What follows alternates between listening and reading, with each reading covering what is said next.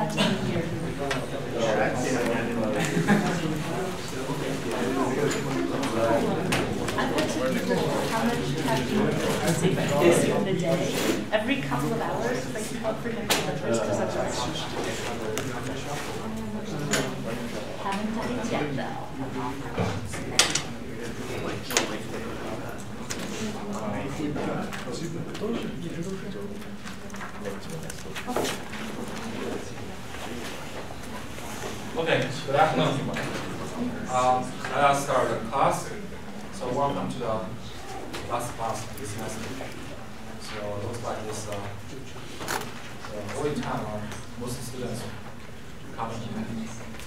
so, um, so first, uh, uh, let me uh, um, emphasize again, our final exam will be on April 30th, next Monday, between 6 p.m. and 8 p.m. Uh, in the same classroom. And, uh, um, uh, and also your project uh, uh, report should be submitted in the same day uh, before midnight. And uh, yeah, so just watch the cameras, don't miss the uh, don't miss the final exam time. It's just a paper exam.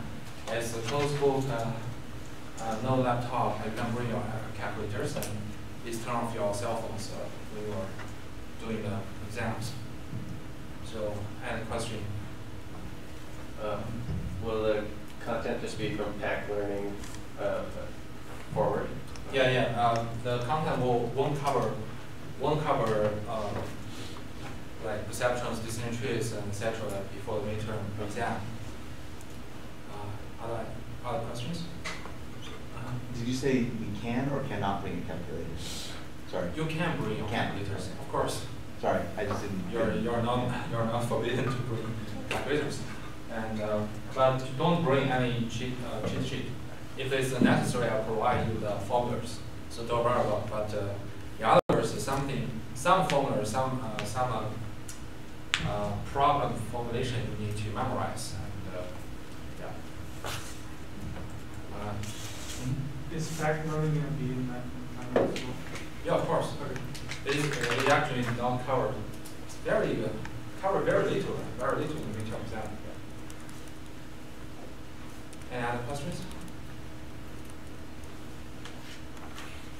Okay, good. And today we're gonna uh, wrap up the uh, SVM stuff, so uh, the remaining little things about SVM, kernel tricks, and nonlinear SVMs, and then uh, we'll introduce some uh, practical methods called cross-validation to help you.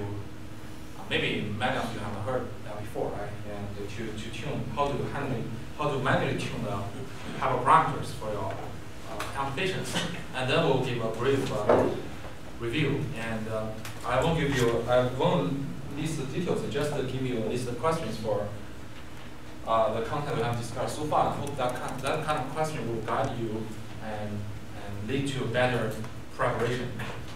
Okay, so uh, let us start. So uh, in the last lecture, we uh, um, we first discussed how we solve the dual form of SVM, right? And uh, what's the what's the basic idea to solve the dual form of SVM? Yeah, that's dual form, right? And then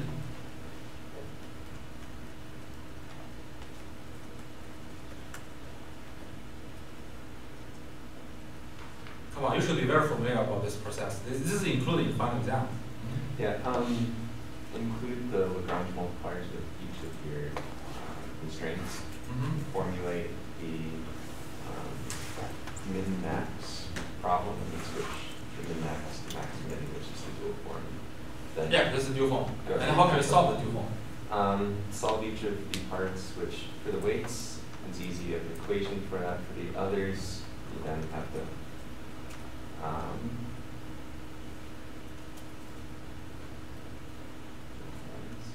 Can you fix the max, or like fix the parameters on the outside and then solve the parameters on the inside, the optimal uh, between multipliers and then solve for the outside? Yeah, correct, correct. yeah, So simply one word, step by step. yeah, We fix outside. Uh, remember, in the dual form, the maximum, the outer level is doing maximization of the Lagrange function, right? We maximize the Lagrange with respect to uh, the multipliers, right? And also, we have to put uh, non-negative constraints. And then we uh, minimize the Lagrange function in the inner level. We minimize the Lagrange function with respect to the W, right? The feature weight vector and box parameter and slack variables, right? And how, how can we solve the inner minimization? Simply take the gradient, right? This is, this is take, taking gradient and set, set them to be zero, are kind of universal approach, right? No matter you're doing maximization, minimization, even max min or min max. As long as your, your function is uh, uh, differentiable, just take gradient, right? And you, you, you just take gradient uh, with respect to W, B, and uh, select variables and set them to be zero. We, uh, we solve those inequalities, we derive a, a set of results, right? And then we uh, substitute these results into the original Lagrange function. We can simplify the inner minimization problem, right? Because we, we directly replace it with the optimal value. And then we turn it into a, a single maximization problem, right? So if you still remember, it is kind of a form like this. And uh, uh, the outside is about the Lagrange multipliers, uh, which must be non-negative, uh, and also uh, and outside, which is a uh, quadratic function, right? So we have a double summation and a double summation. Each double summation term is alpha i alpha. This is quadratic, right? Because alpha i times alpha g and times labels y i y g. And there is an interesting dot product here, right? xi transpose xj, right? And then plus, yeah, come on, you, you should you should memorize this formula. I won't give you this formula. Summation of the Lagrange right? And also because uh, uh, when we solve the inner minimization problem, uh, uh, when we set the gradient with respect to box parameter b and uh, the slack variables to be zero, we obtain two additional constraints, right? One constraint is that the summation of each alpha i yi is uh, zero, right? And second, sum, the second constraint is that alpha i plus beta i is uh, c, right? C is the hyperparameter of our primal formulation, right? And here, of course, uh, the Lagrange multipliers for beta i must be non-negative, right? And now, and then because beta i does not appear in objective function, it only appears in a constraint function, we can simply remove beta i by constrain alpha i to be less than or equal to c, right? And then we turn a maximization problem into minimizing the negative objective function. And finally, our due problem becomes what? A quadratic, a constrained quadratic minimization problem, right? So, which is simply minimize uh, this negative objective function. We put uh, we put minus sign in front of it, right?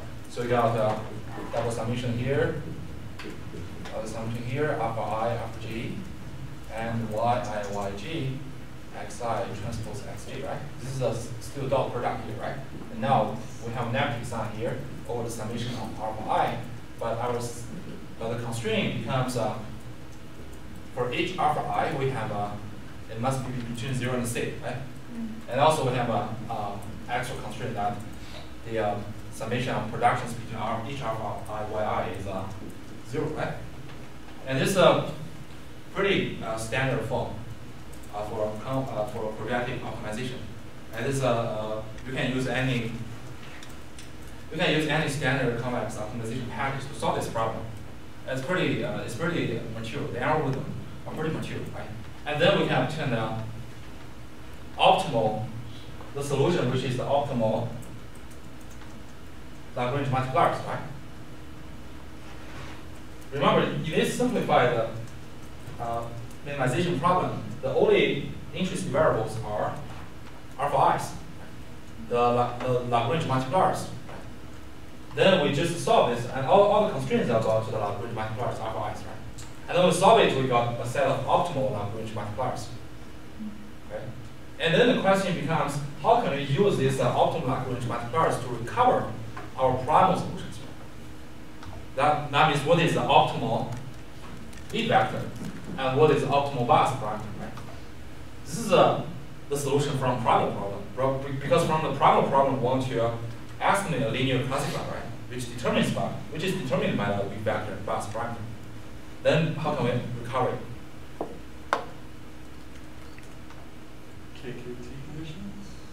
Yeah, let, let's first look at how to recover the, the optimal V vector. The sum of alpha i and y i's. Yeah, yeah, correct, right? Perfect. When we solve the uh, dual form, right, when we use a step-by-step approach to fix outside level, we solve the minim, uh, in a minimization level, we take the gradient uh, with respect to W and set it to be zero, what can we get? We get a very interesting solution that W is always the linear combination, right? Linear combination of uh, the production between each yi and xi, right? Training input and weighted by the Lagrange multiplier alpha right? So now that we have the uh, optimal alpha i's, right? Then to obtain the optimal B vector W, we just uh, substitute the optimal alpha i's into that. We got our optimal B vector. Very easy, very, very straightforward. So our optimal B vector can be calculated from the dual solution by this summation, right? Alpha i star, and also production between yi and xi. Right? And how can we how can we recover the optimal bus parameter b?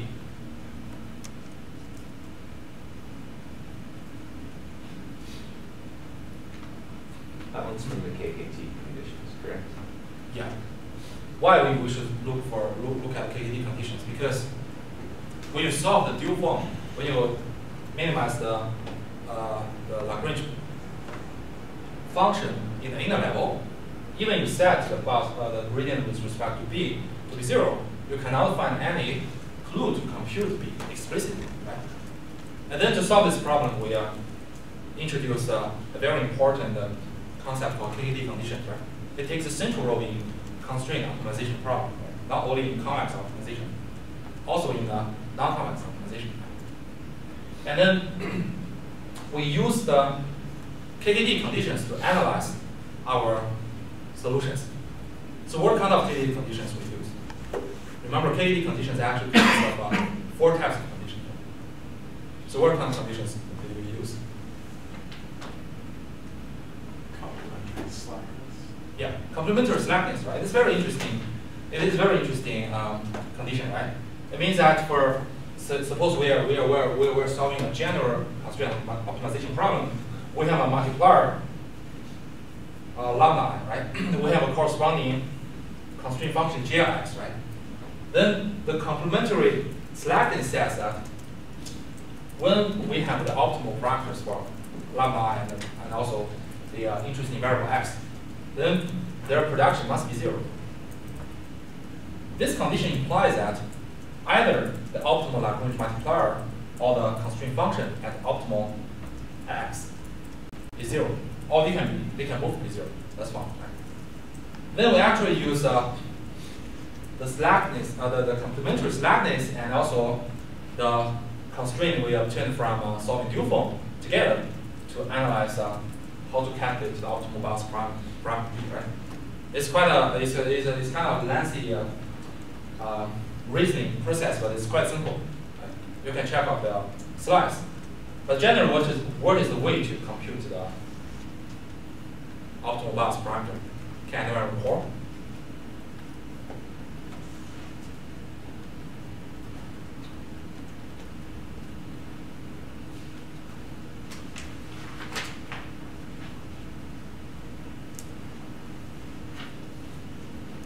So basically, to conveniently solve an optimal V, we can look for a set of uh, training examples, right? Which satisfy some uh, special conditions. What kind of training examples do we need to look for? Uh-huh. Is the ones inside of the margin, correct? Or like within the slackness? It, I heard, yeah. Um, which I guess the better way to say that was alpha was between zero and C, Yeah. correct? And Yeah. you want something? Um, I think for inside the margin, the alpha is one, for outside margin, alpha is zero. But those are the ones that want. Yeah. We just uh, need to look at uh, a small set of training examples, right? Say a small training example whose uh, say some training example G, if its corresponding optimal multiplier alpha G star is a strictly between zero and C, what will happen? We can use the complementary slackness and uh, other, other the condition that alpha i star, alpha g star plus beta g star must be C. And we use the, those conditions together, we can derive that the function margin for xg. Well, this is the function margin, which is uh, yg times the classification function, right? xg plus b equals to 1. If you, if you, if you cannot uh, recall how we arrive at this solution, um, I suggest you to look for the slides. Right? You need to understand uh, the, the whole procedure. Let just the, uh, let just meet details and let me give you the results, right? So as long as we can find out a training example J who is optimal Lagrange multiplier is strictly between 0 and C, then we can conclude that the function margin of the xg and yg is simply 1.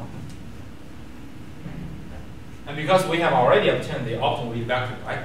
And then we, to obtain the optimal last parameter B, we can simply solve this equation. And if you, if you have multiple uh, training examples who satisfy this result, namely their corresponding optimal Lagrange multipliers are strictly between 0 and C, then for each example, we can calculate one optimal last parameter, right? And for robustness, we can simply average them. So although theoretically speaking, they should be exactly the same. yeah, that's uh, generally the, the, the, the, the strategies for us to recover the optimal V vector and bus parameter from the dual solutions. And then we look into the form of the optimal V vector. right? So we, as we have already noticed that the optimal V vector is uh,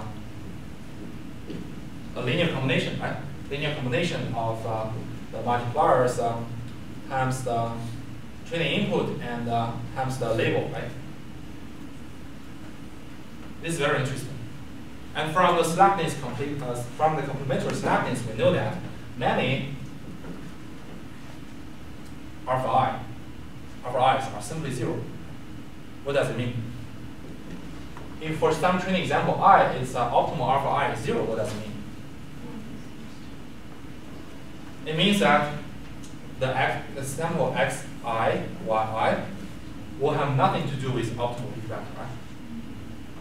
In other words, the optimal V vector is uh, solely determined by a set of training examples whose optimal alpha i's are non-zero.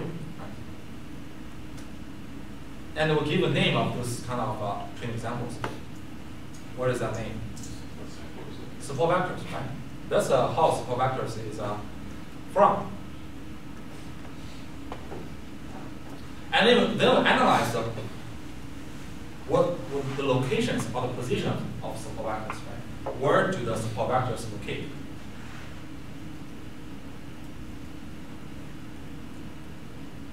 Anyone? So for, for any training example, if, if it is a support vector, namely means that, namely the optimal Lagrange multiplier must be positive, right? Then what does it imply? The position of the support vector.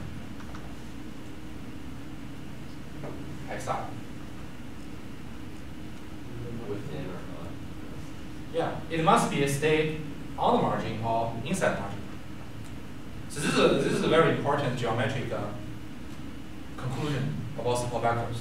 Say, if, our, if, if this is our hyperplane and uh, this is our margin, and uh, we have a lot of uh, positive examples, negative examples outside margin, and only a few examples are stay on the margin or inside the margin.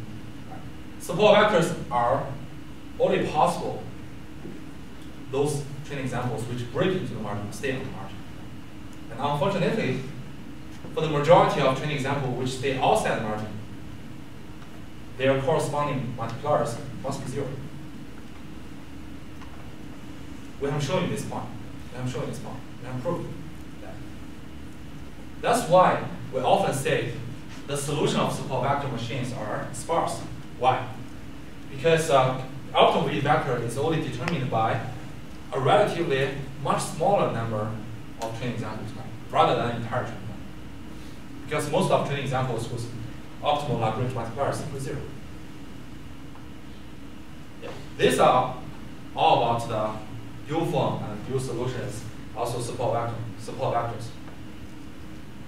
And then to uh, extend our support vector machines for a nonlinear classification problem, we introduce the concept of kernels. So how can we motivate kernels? Or kernel functions?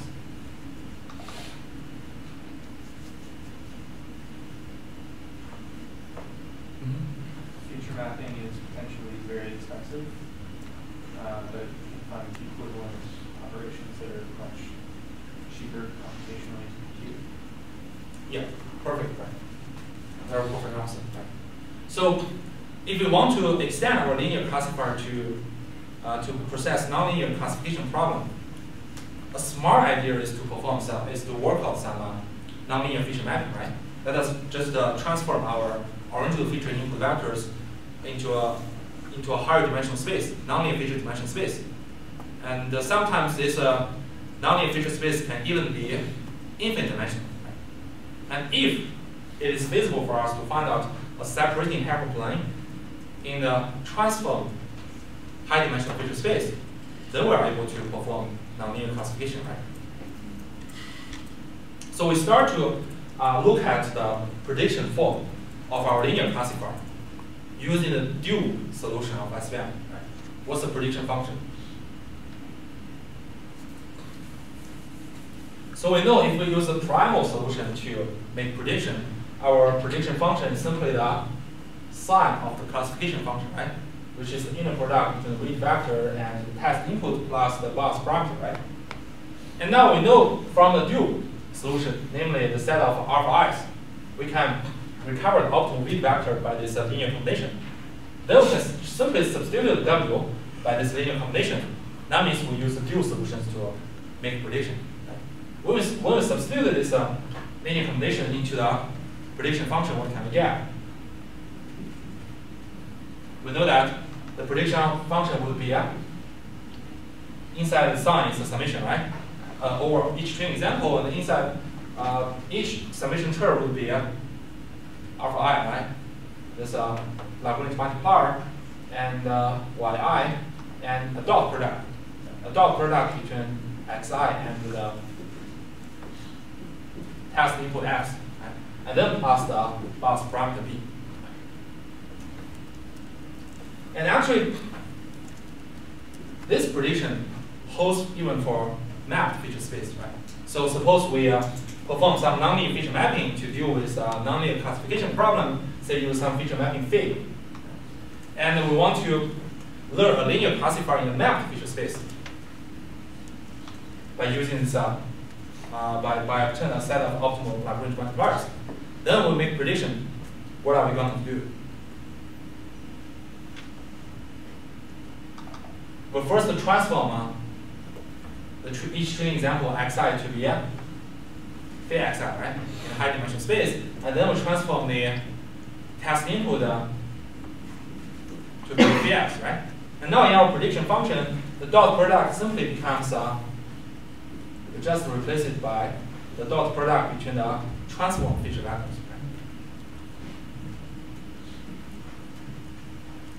So this is our prediction function in a high dimensional space. Then there comes a problem. If you perform very high dimensional space, uh, very high dimensional feature mapping, if you do the explicit uh, mapping, then the computation cost and the storage cost cost is uh, expensive, right? So if you if your original feature vector is just 100 dimensional, and you transform it into the 1 million dimensional, you can imagine you have to to calculate the dot product, you have to use a, you have to store two one million by one feature vectors, right? And then you calculate the inner product of two one million by one feature vectors. This is costly. Right? Then that motivates us to think of uh, a function, right? a function k, which is uh, which has two inputs, right? One input is uh, x, and the other input is z, right? I want to find a simple way to calculate this function that is only operating x and z in the original feature space, low dimensional feature space. But actually the result is totally equivalent to uh, the dot product uh, after explicit feature mapping, right? This is the idea of a kernel trick. Right? And in the last lecture, we have uh, shown uh, such an example, right? So this uh, feature mapping is called a polynomial feature mapping, right? We, we, uh, we uh, extend, we, we, we map our original feature vector uh, into a higher dimensional space by expanding all the quadratic terms and combinations between their features? And we have shown that this dimension of mapped feature vectors is uh, proportional to n squared if we originally have n features. So if we do if we perform the explicit feature mapping and uh, dot product after the feature mapping, both the computational cost and storage cost will be uh, proportional to n squared, right? And then we discuss another simpler kernel function, right? We can calculate a kernel function like this, which is simply 1 plus the inner product between x and z, and take the square, right? This calculation only has um, a, a ON computational complexity, right? Because it is performed in the original feature space. In the original feature space, x and z are both n-dimensional, right? And their inner product is simply ON. And then you plus 1 take square is just a scalar. Then I'm showing that, uh, as two-dimensional input as example, we I'm showing that actually uh, calculating the explicit uh, feature mapping and dot product is equivalent to calculate this uh, simple kernel function. Except the few difference in the uh, in the in the in the in the, in the constants in the in the summation terms, right? But that doesn't that doesn't matter because we're trying to learn a linear classifier, right? The weight vector can um, can offset this uh, effect. So in this example, we can see the power of kernel trick.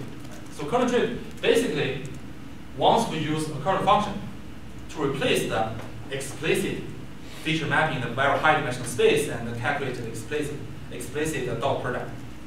This is called a kernel trick. I hope, I hope you, you, are, you are not lost here. I'm not going to calculate this once again, right? You can, you can calculate again.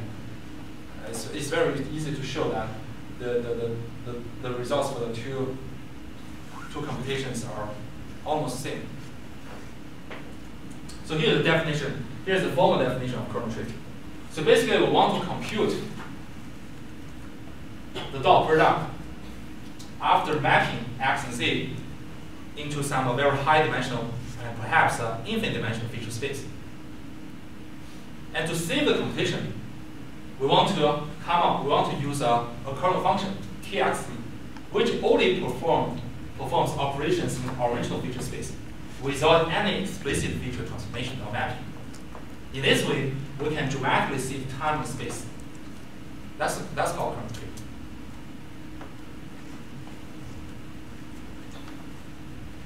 So we can say, by applying kernel trick, what kind of gain do we have?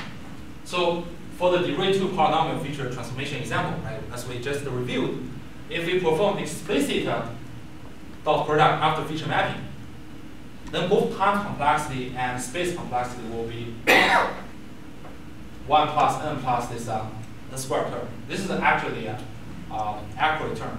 I, I just uh, I just uh, I just consider it as a uh, O n squared.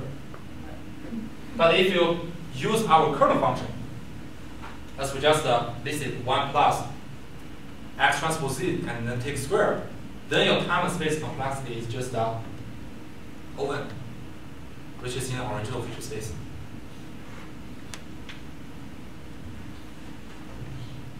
So these are our kernels and kernel tricks. Very simple. Simple. It's just a computational trick.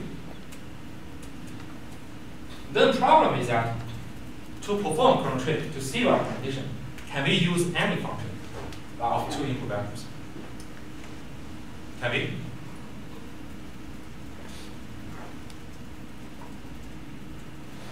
Say, can, can I use a, a function like uh, uh, kxz equals to x minus z and take a norm?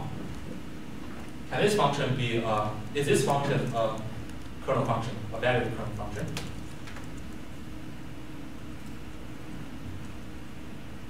Or, or let me randomly write down another function like uh, is equal to uh, like uh, uh, norm of x plus norm of z. Is this a valid function?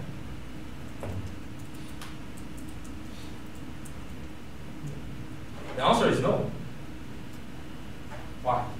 Because the function k of two input vectors, right, x and z, is valid only if it really corresponds to the dot product of two mapped feature vectors, right? If it does not correspond to such kind of feature mapping, then it is meaningless, right? It's meaningless to compute it. Remember, our, our, we want to incorporate the uh, kernel function. It's just to replace the explicit dot product after some high dimensional feature mapping, right? But now, if your function itself does not have any corresponding feature mapping and dot product condition, then what's the meaning for us to calculate the, the function? So obviously, to choose a valid kernel function, we need to check. Right? We need to check whether it is valid, whether it, it really corresponds to uh, some nonlinear feature mapping and uh, the associated dot product. So when you say it corresponds to, like you mean it approximates? No, that's not approximate. It must correspond to uh, some exact feature mapping and then perform dot product. This is called valid kernel function. The way we figure out if this exact feature mapping, uh, we see if they have the same dimension. dimension. Not only seven dimension. Now it's also also correspond to how you what's the definition of each mapped feature, each mapped feature, right? You know, you know, very high dimensional feature vector. What about each element? Each element in the mapped feature vector must be uh, some uh, composition of the original features of feature vector. Right? I- If you want to decide to use some uh, function of two input vectors x and z, you must you must make sure that it corresponds to some uh, dot product of the feature mappings. So I thought we said it could be close though. So you're saying it has to be exact? Yeah, it has to be exact. Okay. Except the- the coefficients could be different, but the, like, in the case of the degree two, it's like, there has to be an x one, x two term, and an x. Yeah. Yeah, yeah. yeah. It, it, you said, okay, it is uh, very close to some uh, feature mapping, right? Only difference is in a coefficient, right? But actually, when you manipulate the coefficients, it can correspond to another feature mapping. Okay. Yeah. I just want to show you the resemblance of computation, com- computing is explicit dot product and that's that one. But, uh, uh, if you if you want to convert the kernel function, the example shown before, uh, of course you can you can convert it into the dot product between two explicit feature mapping. And questions about the understanding of kernel trick? Okay. And then how can we justify a function is a kernel function? And here I give you a general condition. So uh, to introduce the general condition, let us introduce the concept of gram matrix. So basically, gram matrix uh, is defined on a set of input vectors, and uh, and uh, we need to check whether the kernel matrix will correspond to gram matrix, which is positive semi-definite. So specifically, let us first look at, uh, let us first uh, recall what is the property of semi, positive semi-definite. What is positive semi-definite? And here here only consider symmetric matrices. So basically from the linear algebra, the uh, definition of the, the, positive semi-definite matrices is as follows.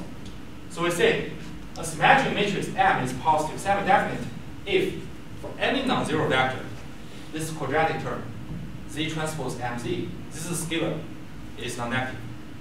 Remember, this is scalar? And positive semi-definite is very useful property, which characterizes many, many mathematical objects, not only in uh, this um, kernel matrix, kernel functions. And then let us look at the definition for Gram matrix and kernel matrix. So the Gram matrix is defined on a finite set of uh, vectors. Say, if we have a set of n vectors, x1 to xn, then we can form a n by n Gram matrix. And each element is a dot product between two vectors in the set. Say, the ij's entry of G is simply dot product between x and xg. This is called Gram matrix. And uh, of course, this definition is uh, valid even you perform some uh, nonlinear feature mapping, right? Suppose we have a, a feature mapping fig, right? And then we have, after we, after feature mapping, our mapped feature vectors will be phi x1, phi x2 to phi xn. Then we can also define our Gram matrix on this mapped feature vectors. So question, does the size of the, uh, is the size of Gram matrix uh, determined by the dimension of the input vectors?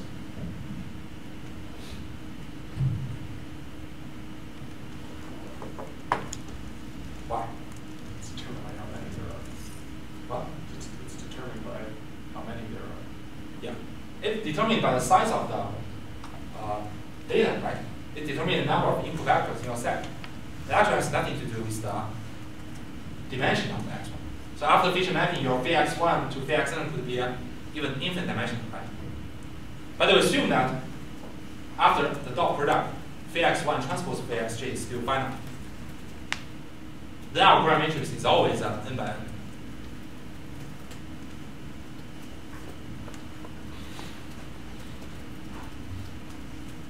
The next question is how can we show that Gram matrix is positive semi-definite?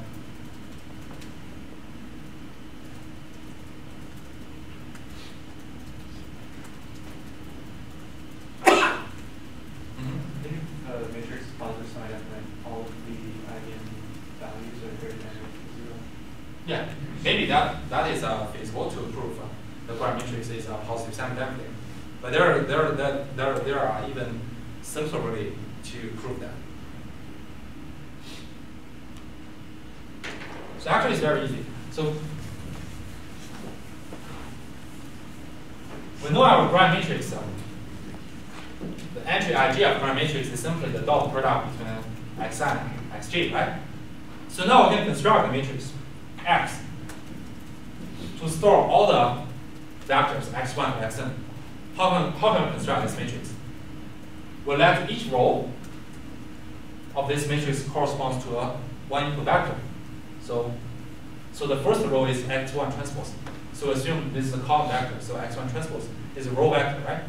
And second row is uh, x2 transpose. And until the nth row, right? Because we have n input vectors, right? So the nth row is uh, xn transpose. So let us just uh, denote this matrix by x. So the matrix size is uh, n by d. n is the number of input vectors. And d is the dimension of each uh, input vector, right? And now we can say the Gram matrix G is simply what? It's simply XX transpose, right? This is, it's, it's very easy to see, right? Because you, you, you can write it down, right? So this is a block matrix, right? Xn transpose. This is X, right? X transpose is uh, X1 to Xn, right? So this uh, uh, row block, this row block matrix, right? This uh, oh no, this is a column block matrix. This is a row block matrix, right?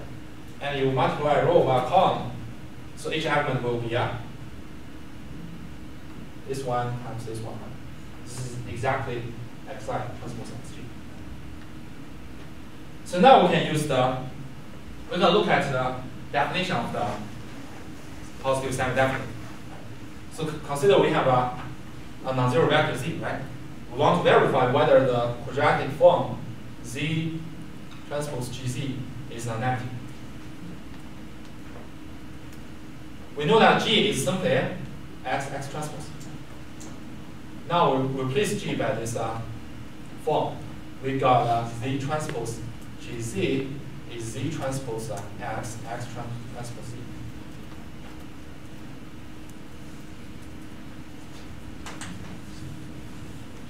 How can we conclude from this form? What can we conclude from this form?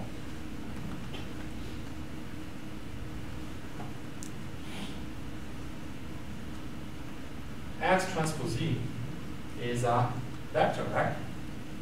Remember Z is a vector, right? X is matrix, matrix multiplied by a vector is a vector, right? And then Z transpose X is what? So let us denote V equals to X transpose Z, right? The Z transpose X is what? It's just V transpose, right? And then X transpose is V, right? So this quadratic form is simply V transpose V. What does V transpose V mean? It is the square norm of V. Right? So square norm of V is always a non-negative, right? Then we show that actually for any non-zero vector, Z transpose GZ is a non-negative, right? So the Gram matrix is always a positive subdiamond.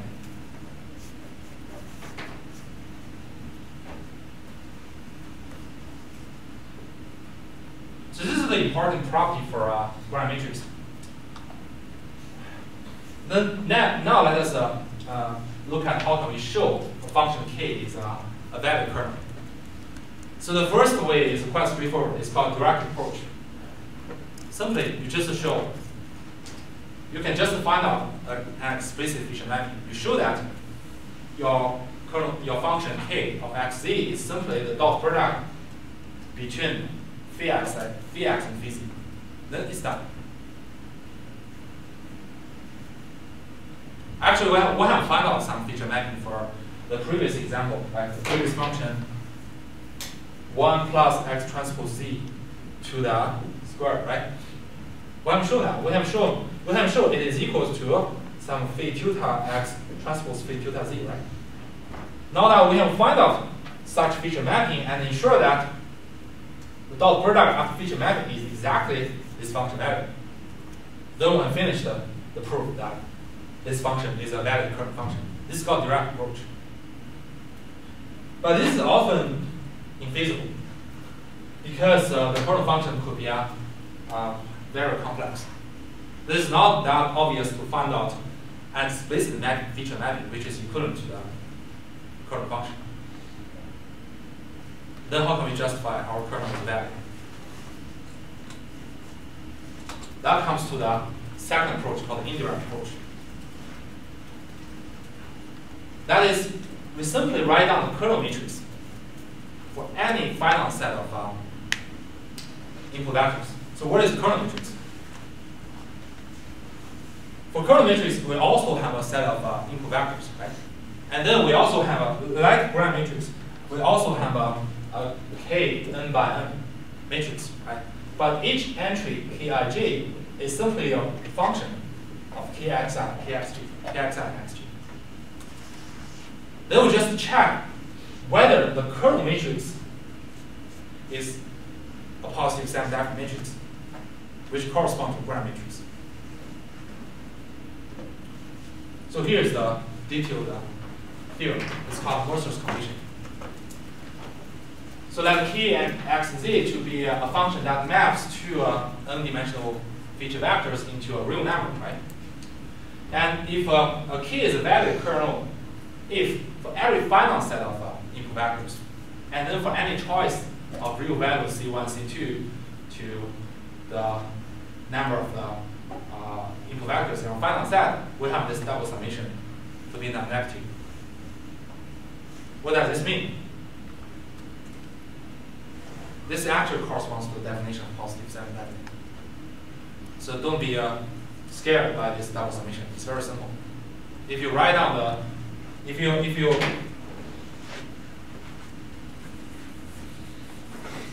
if you use a, a vector C to uh, represent all the real values C1, C2, blah blah to Cn, right? Suppose we have an n input vectors there. And the double summation here is correspond to uh, C transpose K, C, right? K is the n by n kernel matrix. So basically, the, the, the Mercer's condition says that if for any finite set of uh, training examples, not training example, input vectors, the corresponding kernel matrix of your function is positive semi-definite, then we can claim the, the, the function is a valid kernel function, and it corresponds to a Gram matrix.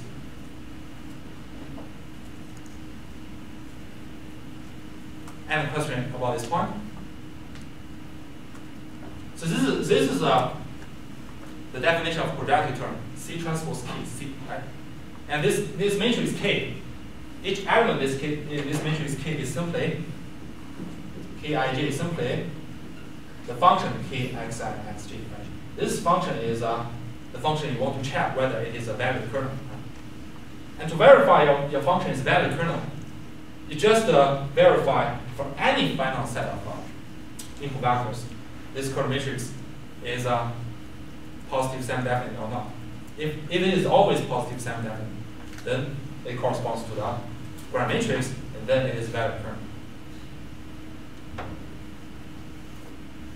So this is some theoretical results, which is not which is not very practical. Remember, if you want to, uh, from this theorem, if you want to uh, really prove that a function is a kernel function, you have to enumerate all possible finite set, right? It's actually, in most cases, it is infeasible, unless you have some induction method.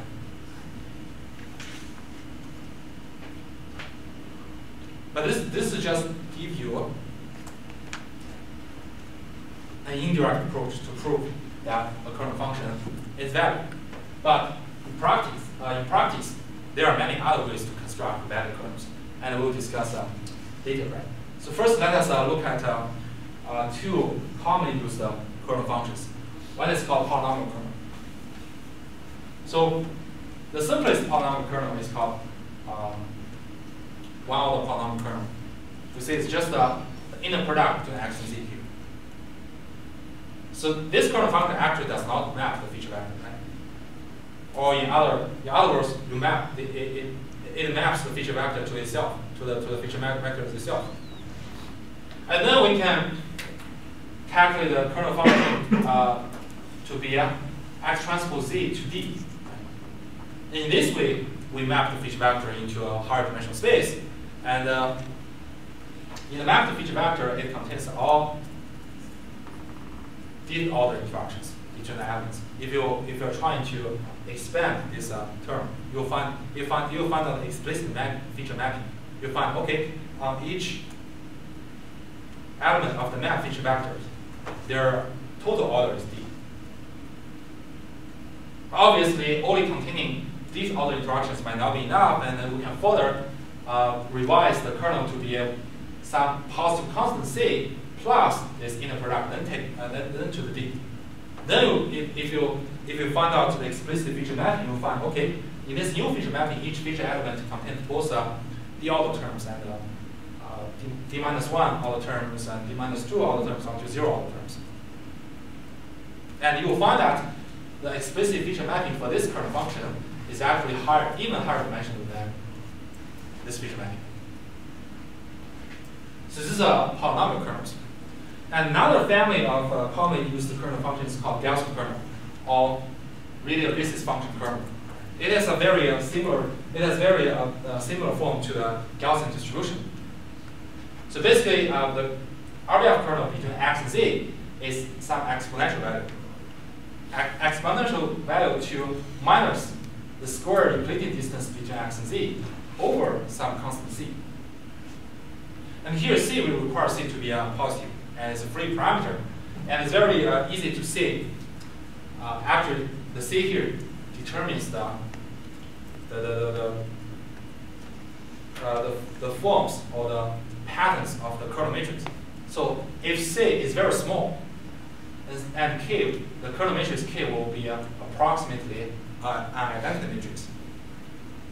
Why? Because uh, in the kernel matrix, the, the diagonal elements are it's just uh, kxi, kx, kxi, xi, kxj, xj, right?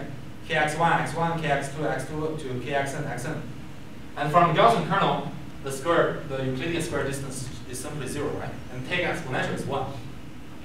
And then if for very small c, we can see as long as x and z are different, and the non-zero element is divided by a very small value, it could be very large. Then you take a, you multiply with minus and take exponential, it will be uh, close to zero. That means the off diagonal elements are close to zero. It, it, it is very easy to check. Why everyone looks uh, so confusing? So, so this is a kernel matrix, right? So, what is diagonal element? kx1, x1, right? kx2, x2 until kxn, xn, right? This diagonal elements. For all diagonal elements is uh, kx1, x2 to kx1, xn, right?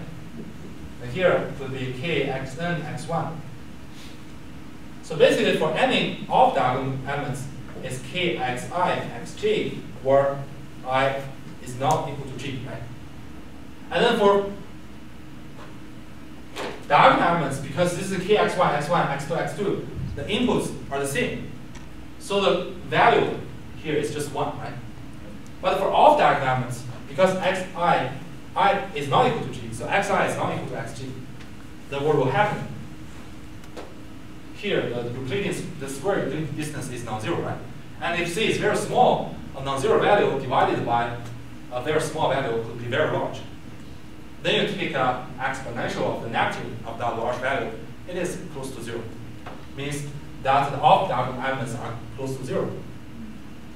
So then we can say, in this case, the kernel matrix is uh, close to an identity matrix. And similarly, if, uh, if C is very large, what will happen? If C is very large, then it doesn't matter how different is x from z, right? Because uh, any value divided by c is close, close to zero, right? And if you take exponential of zero, it's just uh, one. I mean that if c is very large, then every element in this k could be uh, close to close to one. Then k is close to a unit matrix. So I will give you an exercise, and you better to um, you better try that. Um, how can you prove this is a kernel using direct approach? Namely, can you find out an explicit feature mapping such that the dot product of the mapped feature vector is exactly Gaussian kernel? This is a very interesting problem. I, I, I, highly suggest you to um, um, solve this problem. So, as we just mentioned, direct computation, uh, direct, uh, uh, direct proof for kernels are often feasible, right? Because because of the complexity of your functions, and indirect proof is uh, is uh, invisible as well, uh, because you have to check uh, the kernel matrices on any final set of uh, input vectors, right? So both both methods are not very practical. So what are the practical approaches to obtain new kernels, new value kernels? Simple. We just uh, construct new kernels uh, based on the existing value kernels. We have a bunch, a family of the value kernels which we can prove that they are valid. Right? Either use a direct approach or indirect approach. And then we just combine, make a composition of those uh, existing kernel functions to make a new value kernel functions. So here are a set of rules to construct new kernels. If we multiply the existing kernel valid kernel function by a uh, positive constant, then we, we have a, a valid kernel. If we multiply with two uh, uh, positive function, then we return, we, we have a new valid kernel. Or if uh, plugging the kernel function into a, a polynomial with uh, positive uh, coefficients, we also have a valid kernel. Or you take exponential, we also have valid kernel. So there are uh, also, you can add two kernels together, you get a new kernel function. You multiply them together, you get a new kernel function. And also, uh, even uh, if you can plug in the, some explicit feature mapping into the existing kernel, you get a valid kernel. And also, you can do some, uh, you can construct your kernel uh, from some symmetric positive semi-definite matrix. By using these rules or combining these rules, you actually can construct uh, very complex kernel functions, and they are guaranteed to be uh, valid. This is actually the uh, most commonly used way to obtain new kernel function. So now we have uh, uh, introduced everything about kernels, kernel tricks, and problems kernels. And the remaining problem we need to solve how can we plug in kernel trick into our SVM formulation such that our SVM could be powerful to deal with a nonlinear classification problem. How can we do that? The K is still in a dual form of SVM. Now you can see how important dual form of, of SVM is. So remember, when we solve the dual form, finally we can uh, manipulate the optimization problem into a constraint minimization problem, a quadratic constraint problem, right? So this is a quadratic term, and the first term is a double summation, right? Inside double summation is uh, a yi, yg, correspond to a training example i and training example g, right? Alpha i, alpha g is our interested variables, the Lagrange multipliers.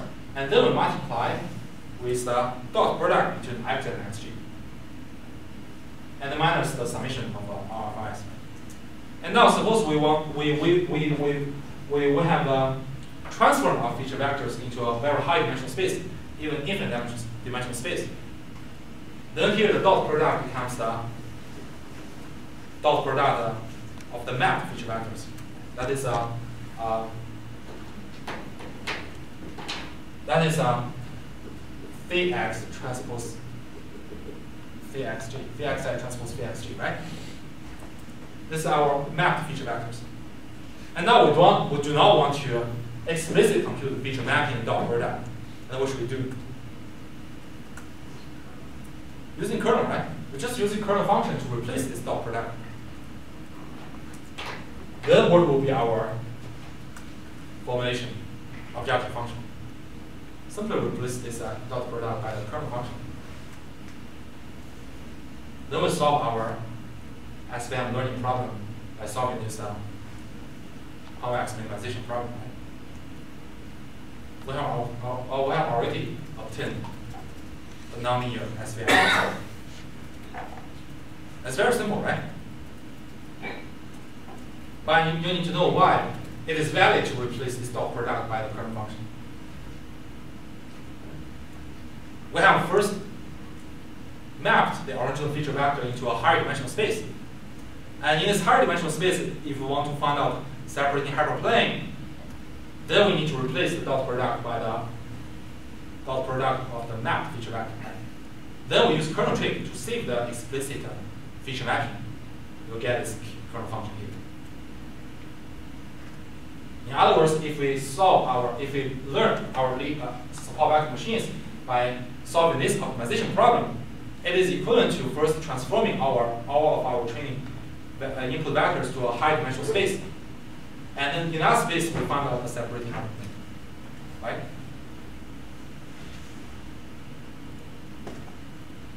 Anyone feel confusing at this point? It's very simple, very straightforward, as long as you, you know everything about SVM. Right? And then suppose we have already learned, uh, remember, when we calculate, when we calculate kernel function here, it doesn't affect the properties of our optimization problem. Because we're trying to find out optimal alpha right? So the kernel function between each uh, training example xi and each training example xj is simply a constant to alpha and alpha g.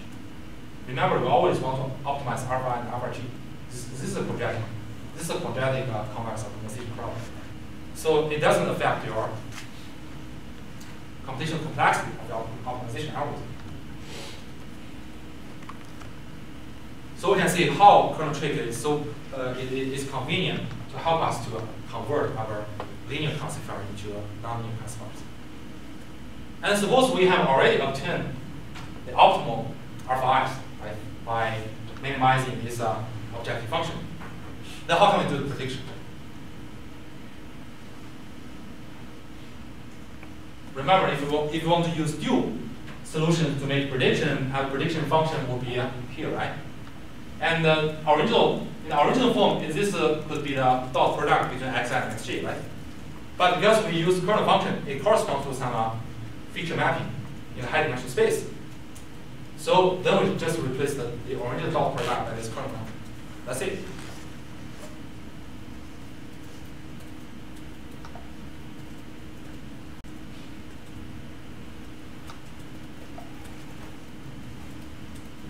Any, uh, any questions?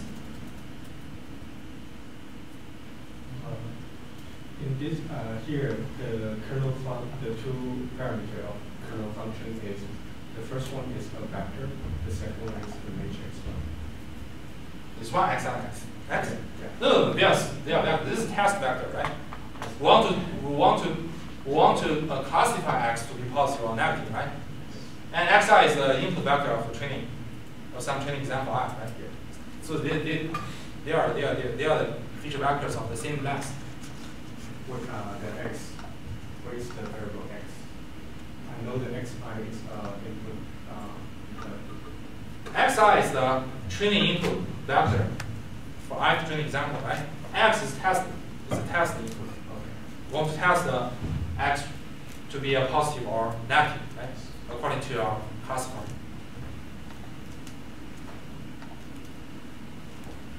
Any questions? So in this case, we do not use the uh, gradient descent to solve this problem. We use another optimization. You can use gradient descent, but you do, you have to be careful uh, with the constraints. You can use gradient descent, but this is another topic about uh, the another topic about about the optimization problem, like proxy, uh, the proximal gradient descent. Every time we project the uh, the gradient updates into a valid region, of course we can do that, but this is uh, this is beyond our scope. So our previous uh, stochastic subgradient me- method, remember, it is only for primal solution, right? But primal solution have, has some limitations. Unless you use explicit feature mapping, you cannot uh, you cannot you, you, you, you cannot use the kernel trick, right? You cannot perform nonlinear classification because you have to explicitly estimate the weight vector. And even worse, if you some want to come come out some uh, infinite dimensional feature mapping, then actually it is not feasible to solve it in the primal problem because consider that your weight vector is uh, infinite dimensional because your map feature vector is infinite dimensional.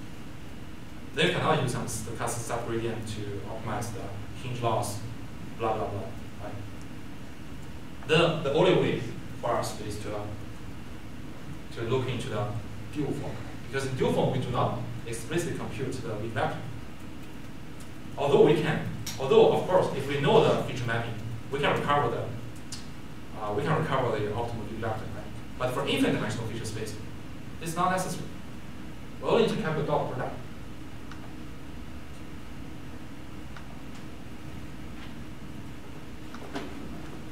Any questions?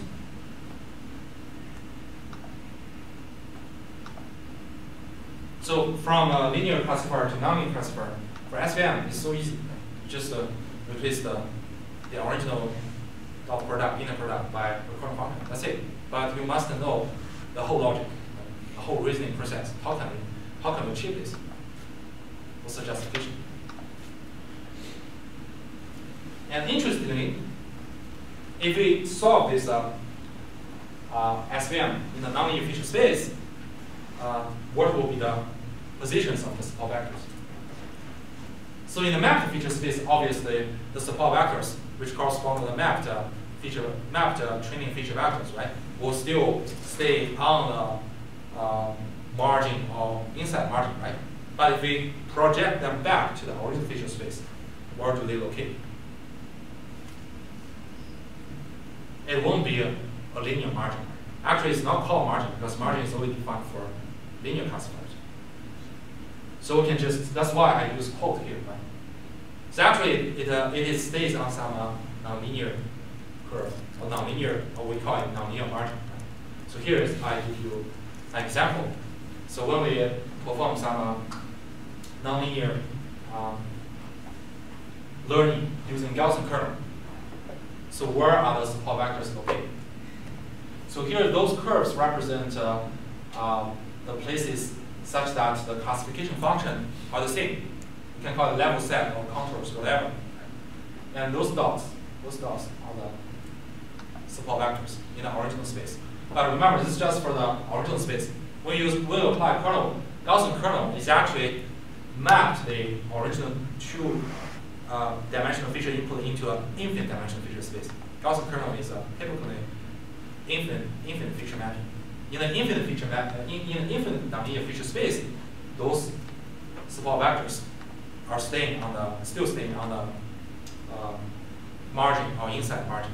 But if we come back, if we project them back into the original uh, two-dimensional feature space, this this is their typical locations. So you can see their locations are not like in a line on your hyperplane, right?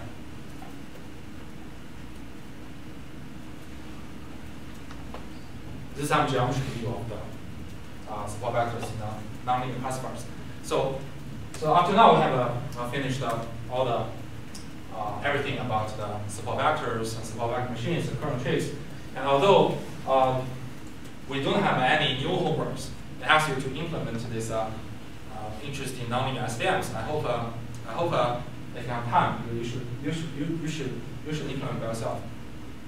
It's very easy because you only need to solve uh, a uh, quadratic convex optimization problem. Use two lines of code, call some uh, call some optimization package, and then plug in some kernel function. You'll find very interesting results, and you will be able to draw this plot. So here is a simple summary, right? So uh, you should you should know that what is dual form of SVM, right? It is the dual form of SVM that leads to the concept of support vectors, and uh, use the dual use the dual solution to make the final prediction. We only need to compute dot product. That leads to the kernel trick, because kernel trick is to uh, replace the explicit dot product after feature mapping by some simple kernel function, right? And uh, and also. Kernel trick is not uh, limited to SVM. Actually, it is widely used. It is actually an independent branch. branch. There is a one um, specific branch of machine learning called kernel, called kernel method.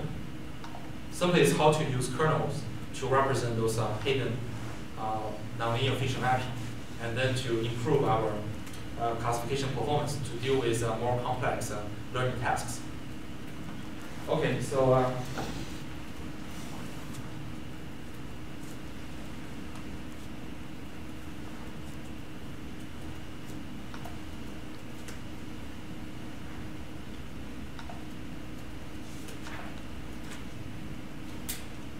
Then let us use several minutes to introduce the uh, cross-validation. So uh, we know that in, uh, in our implementation of SVM, we need to tune some hyperparameter C, right? So what's the best hyperparameter? Actually, it cannot be directly optimized through the objective function. Someone has asked me, right? Why not we directly optimize C as well as the uh, as well as the uh, weight vector and bias parameter? And let's say you can try. Then, then you, you get result C is equal to zero. So actually you have, you have to fix C. Yeah. Then how can we how can we find out um, best hyperparameter C in our different applications or in different data set? And we can generalize this problem into a, a broader context. Say if you want to construct a classifier, and what kind of feature set do we need to use? We need to select a set of features. Which which set of features are best? So there are many ways to perform this kind of feature selection or uh, hyperparameter tuning. And here we just introduced a, very uh, uh, commonly used approach called cross-validation. So what is cross-validation? Because our training data is just limited, right? We do not have an infinite number of training data. And actually we do not have an infinite number of testing. That's why we cannot directly get the test error, right? uh, the, the, the, the generation error then we only we have to use the training data only to get some approximate, approximate true error to guide our selection of hyperparameter of feature set, right? How can we do that? Very simple, just uh, random shuffle the training example and uh, equally split them into several folds. It's called k-fold cross-validation. So take a five-fold cross-validation as an example. We split whole data set into five parts, and then each time we uh, fix one part for test, and then use the remaining four parts for training. Then we get one accuracy, right? And then we just uh, uh, do it again and again. We use another, like part four as a test example, then use the remaining training examples uh, for training, and then test on the part four, on test part, we get another accuracy, right? And then go through all of the folds. And finally, we get uh, like k accuracies, right? If we split data into k folds. And then we average those accuracies. Using these accuracies as our test accuracy estimate. And similarly, for each specific hyperparameter or specific feature set, we can run this uh, k-fold cross-validation to obtain a test accuracy, right? And uh, we just uh, uh, we just uh, test we just got all the test accuracies for all the candidate hyperparameters. Then finally, we got we choose the one with the best k-fold test accuracy. That's called uh, k-fold cross-validation. Uh, this is the most commonly used approach to select the, the hyperparameters. So I hope, I hope, uh, I hope in your uh, uh, future applications of machine learning, um, no matter you are using your own packages or you use, you use your own implementations or use your third-party packages, when you choose the best hyperparameters, then you better to use the k-fold cross-validation. Then suppose we have uh, obtained the best hyperparameter. What should we do?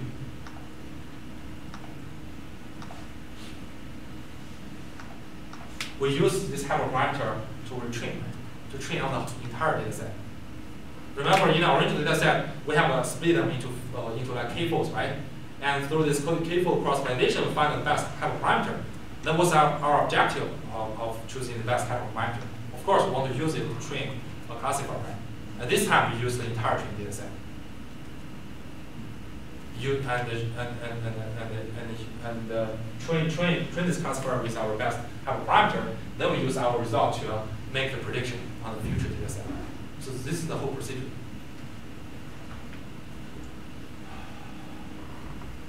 Yeah, that's uh, uh that's uh, that's just uh, some practical advice.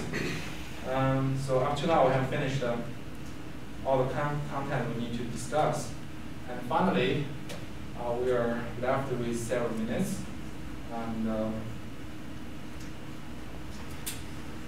just want to give you a quick review.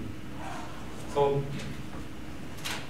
actually, in the remaining half semester, uh, we discuss uh, two topics, right?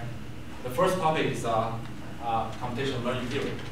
We spent quite a quite a few weeks to discuss the computational learning theory, and then uh, motivated by the computational learning theory results, uh, we introduced support vector machines. So of course, our um, the content for the final exam will be will based on these two topics, obviously. And for computational learning theory, you should know why we like to develop computational learning theory, the motivation, right? What is the general framework? The motivation is to evaluate the performance of a learning algorithm. Um, will these slides be posted online? Yeah, yeah, Okay. yeah. And also, what is the framework? Because we have to consider the randomness of training data, then to characterize or to estimate the generation error, we have to use some probabilistic language. That's why all the PAC learning results or the, the, the sample complexity, those kind of things are described in very lengthy language because we have to give some probabilistic uh, description. With high probability, our true error is less than some level, blah, blah, blah. And we introduced the computational learning theory from uh, two perspectives. perspectives. First, we consider the training error, right? So if your learning algorithm guarantee zero training error, then what kind of learning algorithm? Then, then, then, then, then, we call this learning algorithm as uh, consistent learners, right?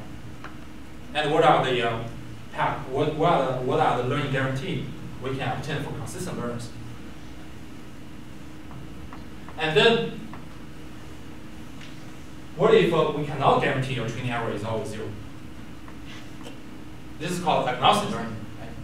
And even for agnostic learning, we can still find out uh, uh, a probabilistic guarantee about the error bound. We have shown many examples how to derive the sample complexity which uh, guarantees the low, the small true error with high probability, right? And for agnostic learning, we also show how can you derive a, a bound for the generation error. Right? Remember, the generation error bound will consist of training error because we have a no zero training error guarantee with probability. This is one perspective. Another perspective is from the size of hypothesis space. So uh, for finite hypothesis space, we directly show you how to derive the sample complexity impact results, impact learning results. But how about the infinite hypothesis space? Obviously, infinite hypothesis space is more commonly used. what is the key step to obtain sample complexity? That leads to the concept of the PAC, uh, of the of the of the VC dimension, right? You should be very familiar with VC dimension. You should be able to compute VC dimension for simple hypothesis spaces. Right? And also uh, important concepts include PAC learnability. What is PAC learnability? What is the efficient PAC learnability? And um, uh, how can you derive the from final hypothesis space? And also, can you determine, like giving you uh, hypothesis space of your learning algorithm, can you determine whether a concept class C is uh, PAC learnable or efficient PAC learnable? What's the general strategy? Uh, if you if you if you finish your homework, of course, I I, I, I bet you are familiar with those kind of uh, um, uh, problems, right? And then what's the VC dimension? And what is? Right? Can you uh, can verify uh, some uh, some hypothesis space can shatter um, two data points or four data points, five data points, right? And what where does VC dimension uh, how does this dimension take effect in our um, PAC learning results? But don't worry, I won't ask you to remember the generalization error bound which involves this dimension. If you want you to analyze, I will definitely uh, definitely show the show the uh, generalization error bound. But you should know, given you this bound, uh, you should be able to explain how this dimension takes effect, right? How this dimension connects to the Occam's razor principle, right? And uh, then what is data dependent VC dimension? That actually connects to the SVM, right? How can we motivate SVM? These are all about the necessary uh, points you, you need to master in the computational learning theory. and then we uh, spend a lot of time introduce, introducing the support vector machines, right? From model formulation and implementation to kernel tricks and nonlinear SVM extension. For SVM, what is the learning principle? Can I use one word or two words to summarize the learning principle? Maximizing the margin, right? But the problem is that, although it's quite intuitive, the problem is that how do we justify the, uh, the, the, the, the, margin maximization principle based on the computational learning theory results, right? We spent, uh, we spent quite a, quite a few uh, time to, to, time to explain the connection, right? It starts from the generation error bound, from the agnostic learning results, right? And if we treat uh, all linear classifiers belong to the same huge space, then there's nothing to do. There's nothing to improve your bound. But if we can classify your linear classifier into many, many subfamilies, and we can identify which family our learned classifier, linear classifier belong to, then we may optimize or further uh, tighten our generation error bound. Right? That's called data-dependent VC dimension. Remember the connection. You need to memorize the connection. You should, you should be very clear about that. And then we uh, proceed to the hard SVM. Right? What is hard SVM? What's the basic assumption about hard, hard SVM? And what's the strict formulation of our max margin uh, learning principle? And then to simplify this problem, how can we restrict the parameter space? And why, after we uh, simplify the uh, parameter space, we still do not lose any optimal solutions?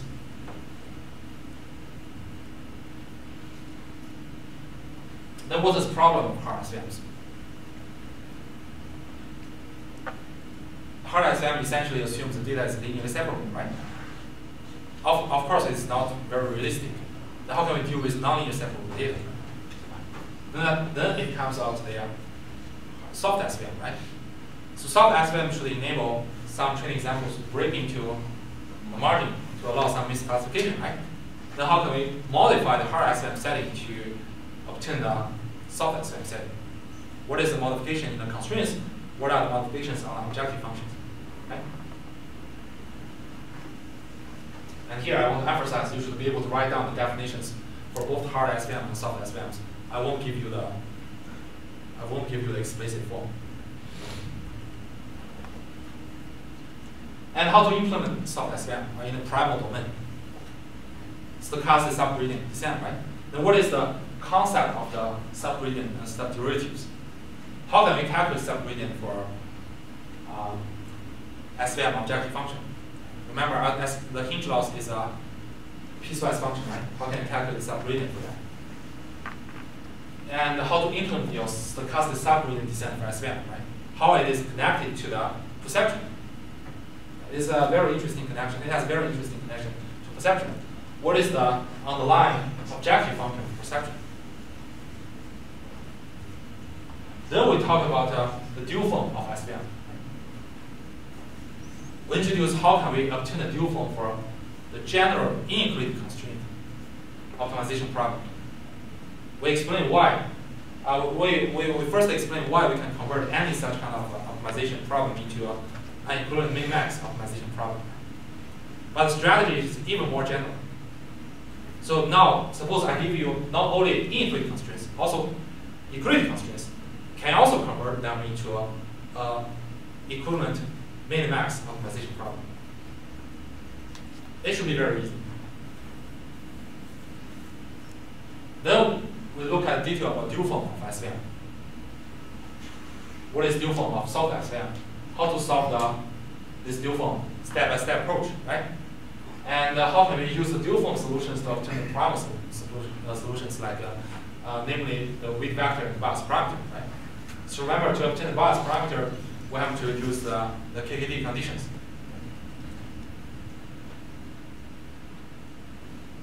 And then we talk about the support vectors. The support vectors come from the form of the V vector in terms of the U solutions. Right?